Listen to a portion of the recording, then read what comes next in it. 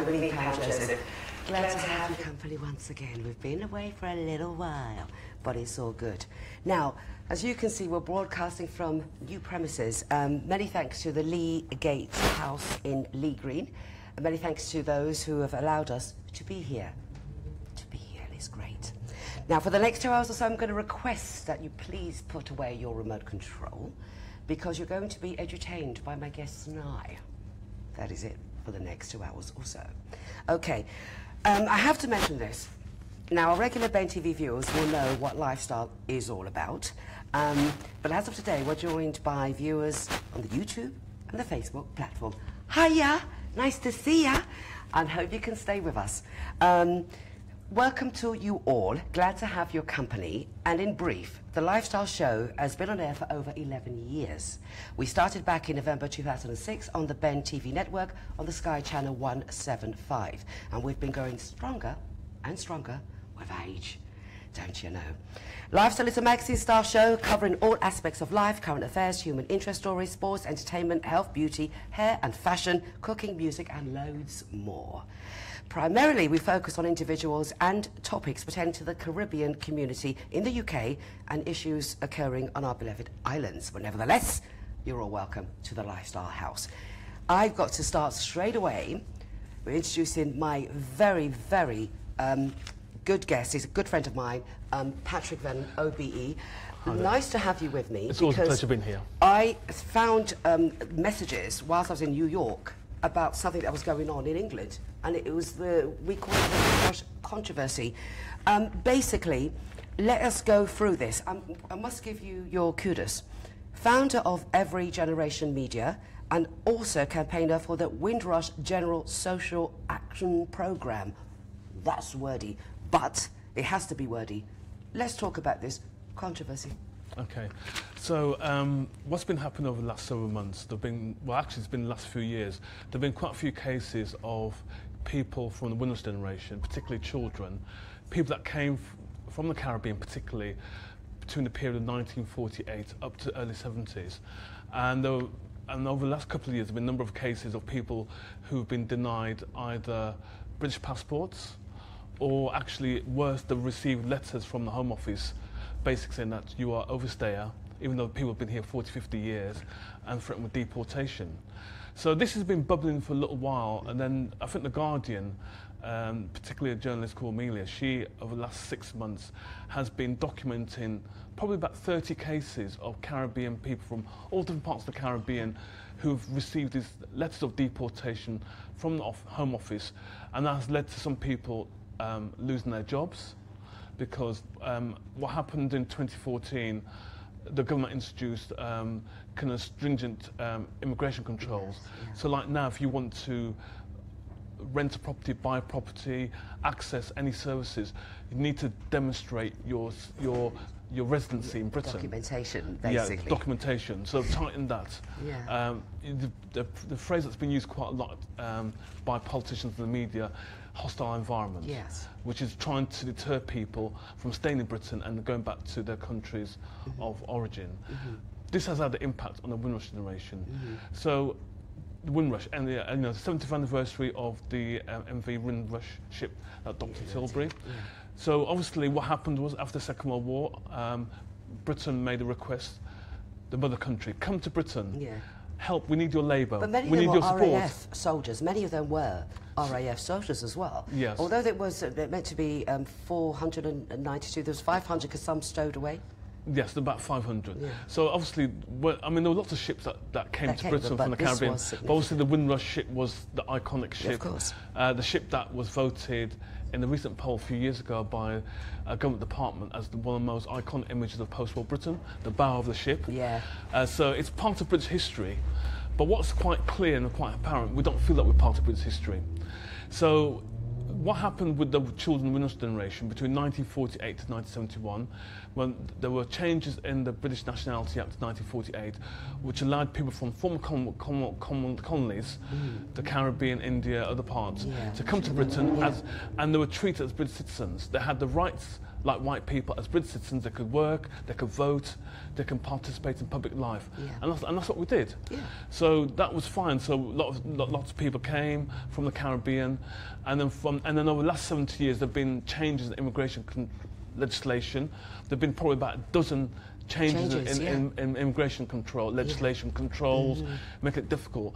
When it came to the 1981 Immigration Act, that virtually reduced significantly the number of people coming from the Caribbean, big time Yes. basically.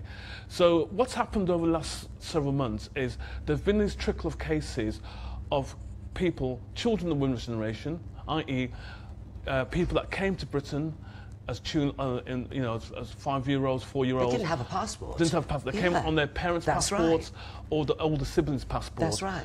And because of the nationality up to 1948, that was fine.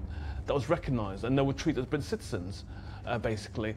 And um, because of this hostile environment and immigration control, it has forced people now to have documentation. So many of these children who are now in their 60s have been told, well, you haven't got evidence that you've been here, even though that's rubbish. Therefore, you must be an overstayer, Yeah. even though they've been here 50 years, pay their taxes, pay their taxes, they've worked. Some of them have done jury service. Um, some have served in the armed forces. Yeah. And yet they've been told to overstay. So obviously, there was not there wasn't an outcry at the time. The only outcry was probably around that February time when a gentleman called Albert Thompson, who was refused cancer treatment, um, and that was debated in Parliament. Jeremy Corbyn actually said to Theresa May, "Are you going to sort this out? Because you know he's paid his taxes, he's paid his national insurance contributions, he should deserve his cancer treatment." Of course. The government at the time said they would looking into it, nothing happened. And that led to uh, the, the charity that was supporting Albert, Praxis, they, they, they launched a, um, a crowdfunding campaign Yes. and raised about £30,000 for his cancer treatment. That was back in February. But, but I think most people felt it was just like the odd case. Yeah.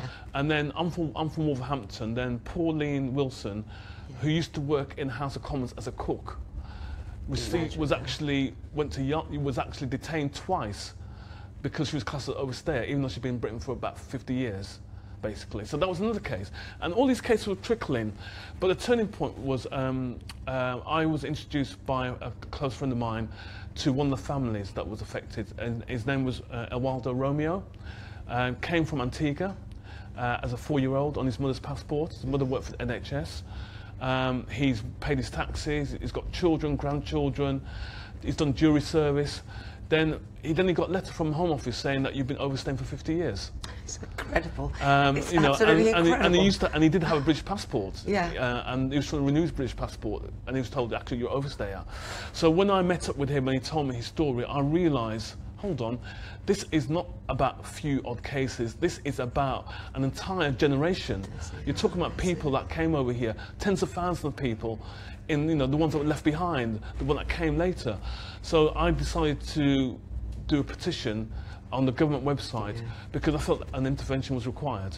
Wow, and uh, what an intervention. My Yes. gosh, to date, is it not 176,000 signatures? 179,000 people have signed a petition. 79,000, So my people have signed a petition from Northern Ireland all the way down to Cornwall. Yes. And I think what's happened is the government didn't, they thought they could get away with it. Literally get away Mm. with it.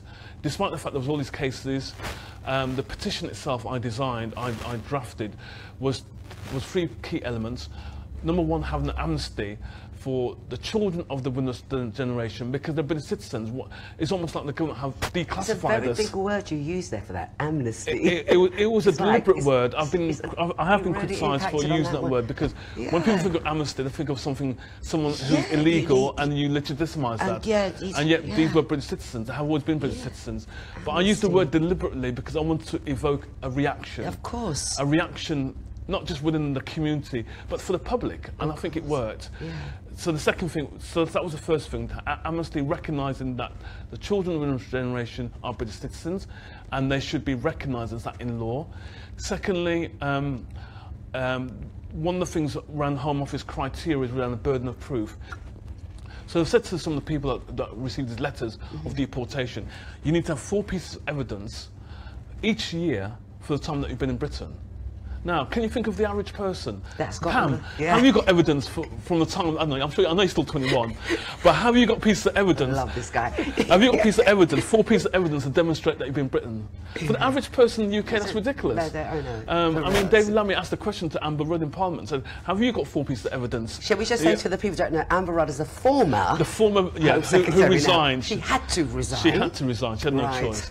So it's ridiculous. I mean, Mm. it, um, I was talking. Some, it, it reached a ridiculous situation whereby they had to have photographs of a child in the playground to demonstrate that went to that primary school when they were a six-year-old. No, this was- so no. this. It, it, so it, it, so obviously it's very difficult to.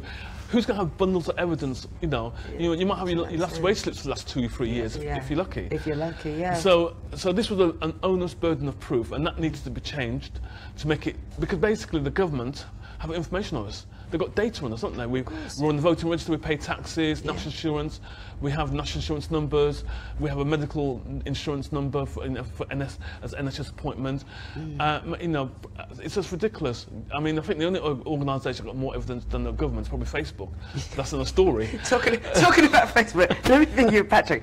We're going to come back after the break. Let, us go for a break now because when we come back, we're going to talk about all these um, so-called clinics that's been set up, Sure. as well as meetings and debates that's going, Yes. going to be going on um, in London Yes. um, for weeks and weeks to come. So we're going to be dealing with that. We also want to tell our, our viewers you are welcome to interact with us by posting your questions or get to our guests or comments you'd like to make. Uh, various ways you can do that. Email, simply email lifestyleonben at hotmail.co.uk. Facebook page, Lifestyle on Ben. YouTube, Lifestyle Show TV. Hashtag Lifestyle Show. Instagram, Lifestyle TV Show. Twitter at Lifestyle TV Show. Or simply text us. 07956 963 391. 07956 963 391. We're going to be back with you after the break.